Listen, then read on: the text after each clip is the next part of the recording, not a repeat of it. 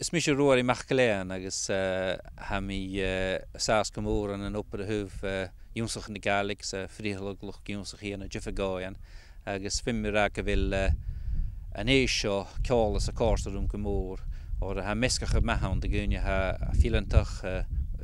fiante bh hús ha duine yn y gaig ag tifarían duine ag tíireach ag taiseachtáiseach agus mar sin sé rút go fallin na hána na dyfer hiorsi yn tegyn sy'n y fi ymysg chéle. Ha mi dyfu gen o dawns o ceim, um, stoch o gynnu mi uh, dawns ei horig yn eile cwtioch agos uh, y ferch ar y sin agos uh, dawns o ceim gyma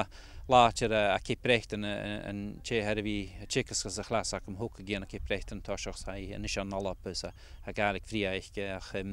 a sin ús úsachchéintse nach go na ceálaigh na hána ceolalas itar an dagúich mar go bhíhéalach cérétain agus uiste jazz agus a sin go cruúchail an dáis bhéle cúpa.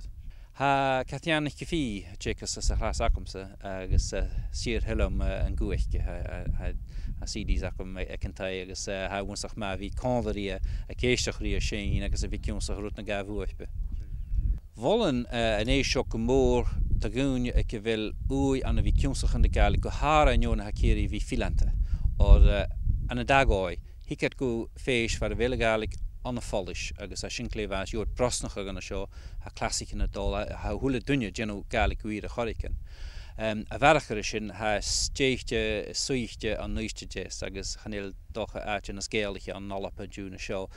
Dúnig go Johnnach an canan a bhríon a choirsnach as na búhan as na tain sinse ag na céalaon agus jo chom ag luchúmsaí an canan fi an nómór an na dúmsaíchead a chud os fémas a choirsnach.